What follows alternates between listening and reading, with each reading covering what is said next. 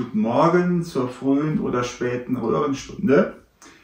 Ich stelle heute die RS 681 von Telefunken vor, einer UKW-Senderöhre für 150 MHz Maximalfrequenz. Sie arbeitet mit 4 bis 5 Kilovolt Anodenspannung, je nach Frequenzbereich und benötigt 10 Volt Heizspannung und 7 Ampere Heizstrom. Wie man sieht, die Röhre ist doch im Original, äh, Originalkarton als Transportverpackung. Äh, ich versuche sie im Detail vorzustellen, was ein bisschen schwierig ist aufgrund der Reflexionen. Röhren sind leider Spiegel und das macht es immer ein bisschen schwierig mit der Filmerei. Auf der Webseite sind wie immer alle Detailfotos mit möglichst wenig Reflexionen sowie dem Datenblatt. Ist alles in der Videobeschreibung verlinkt. Dies ist die Originalverpackung der RS 681. Und wer den Größenvergleich noch nicht gesehen hat, hier ist eine ECC 83 im Größenvergleich. Die Röhren wurden damals noch in echten Holzkisten transportiert.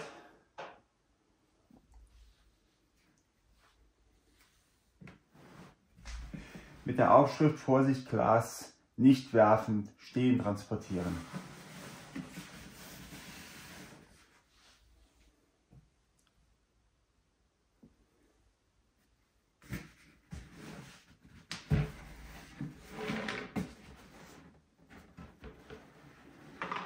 Und auch mit dem Transporthinweis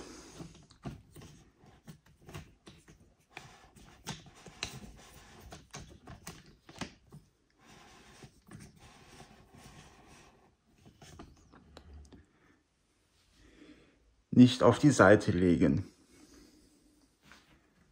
Die Röhre selbst ist intern nochmal verpackt.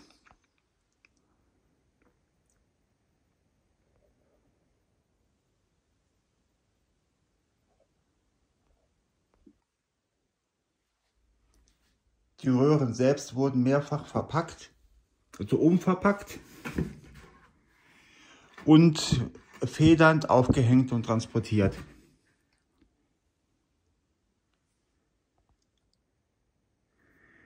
Diese Transportmethode war bei sehr vielen Senderöhren Standard.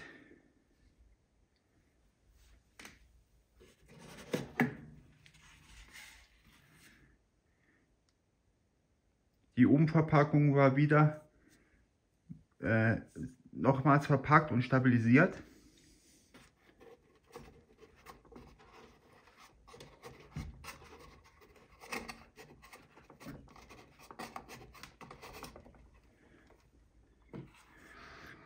Und schließlich die Röhre selbst.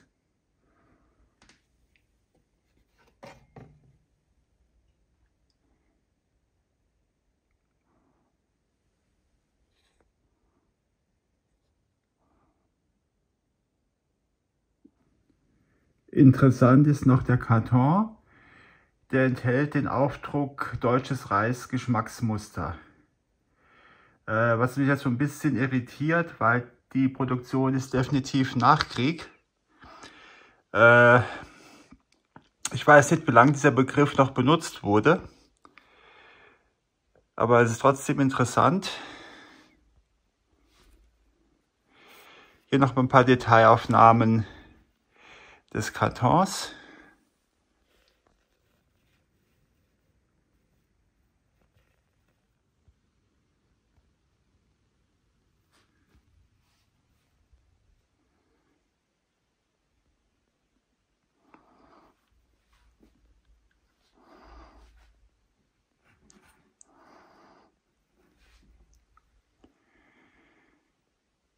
Man sieht die Spuren der langen Lagerung.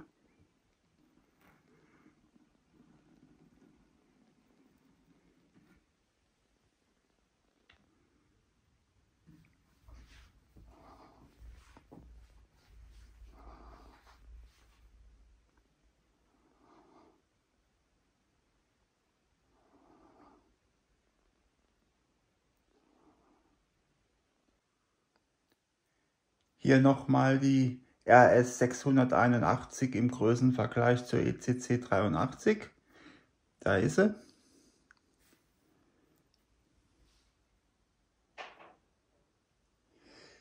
So, es handelt sich wie gesagt um eine luftgekühlte UKW-Senderöhre mit maximal 150 MHz.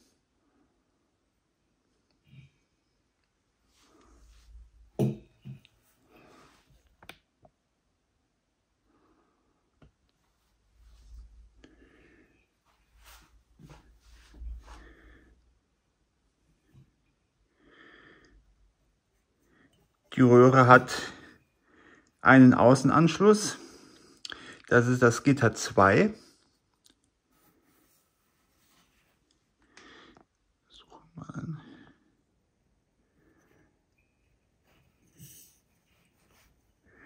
Zoom in das Innensystem. Das ist die Aufhängung der Kathode. Die Röhre ist direkt geheizt wie sehr viele Senderöhren.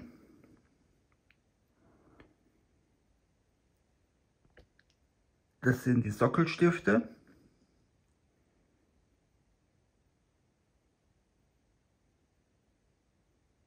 Drei davon sind für das erste Steuergitter und zwei sind die Heizung bzw. die Kathode. Das zweite Steuergitter ist dieser Metallring.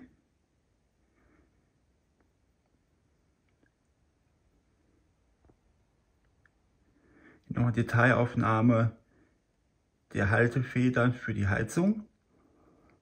Also damit wird die Kathode und die Heizung gespannt.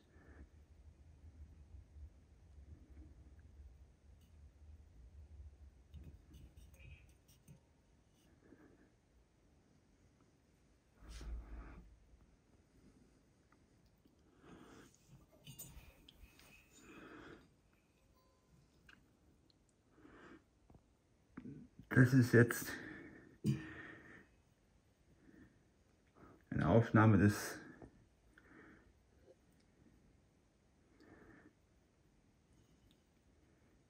des Systems. Es ist ein bisschen schwer zu filmen von unten. Das ist das Anodenblech. Natürlich groß, Telefunken RS681.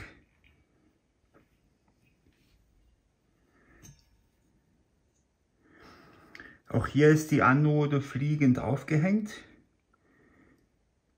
Was einer der größten Kritikpunkte war, dass natürlich dadurch die Röhre mechanisch sehr empfindlich wurde. Also die Anode ist gerne gebrochen.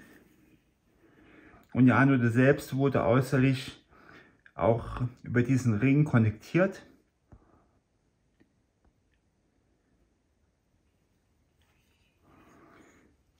Zu sehen ist auch in der Mitte der Pumpstutzen der Röhre.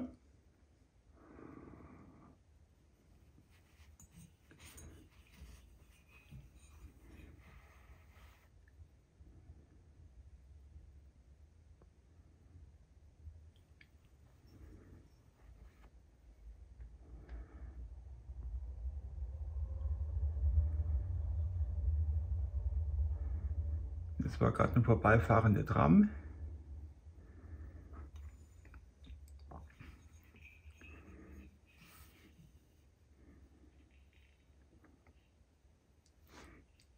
Die Anode ist außen mit Graphit beschichtet zur Radiationskühlung.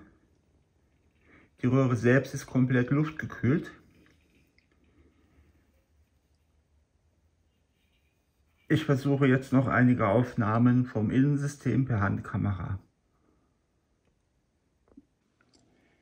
So, zum Schluss die versprochenen Aufnahmen mit der Handkamera. Hier nochmal der Sockel.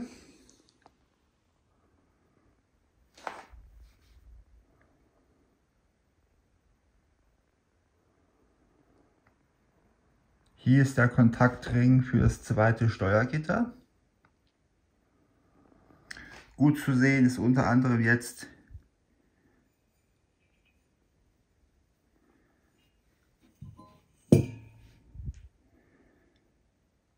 die Aufhängung der Kathode bzw. der Heizer.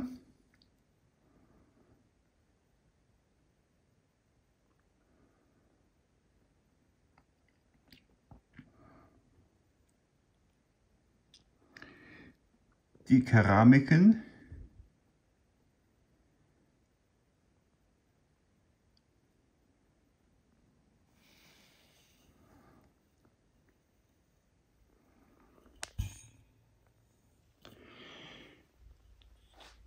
Die Röhre rollt gerne weg.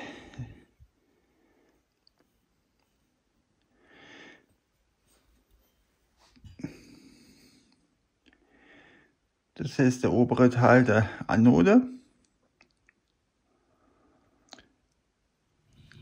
Das hier ist die, der Kontaktring für die Anode. sowie der Pumpsturz in der Röhre.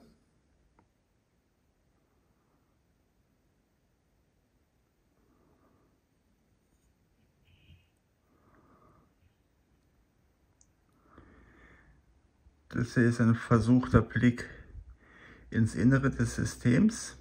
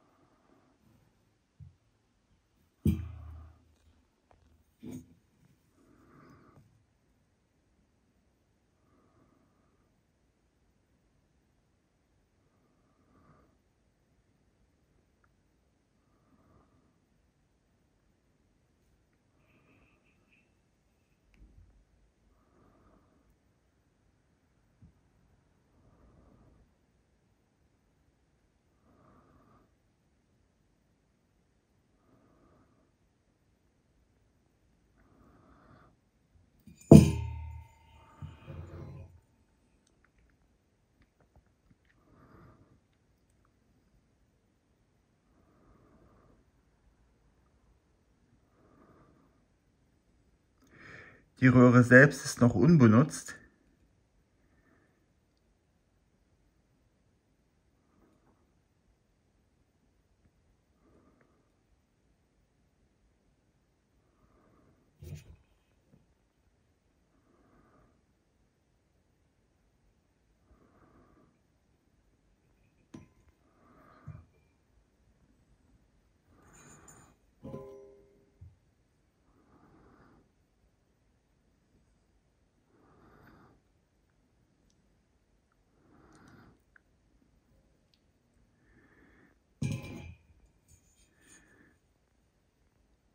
Noch eine Detailaufnahme zum Ring des zweiten Steuergitters.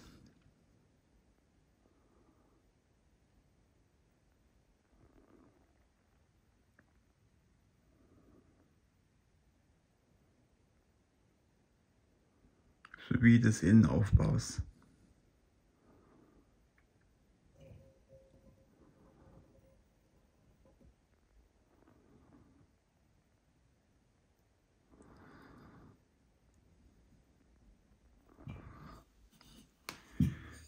So wie schon gesagt, heute nur ein Quickie.